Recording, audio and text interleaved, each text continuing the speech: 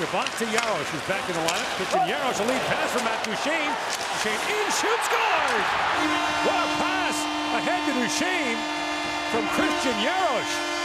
The high flip, it's a basically a giveaway quick G to D and watch Jaros snap it up as Matt Duchene slashes through, gets in behind Aaron Ekblad, and good handle on the stretch, not to let it get away from. This puck has come at him quickly, and with one hand, he puts it in a spot where he can still skate into it, and then right up and under the bar.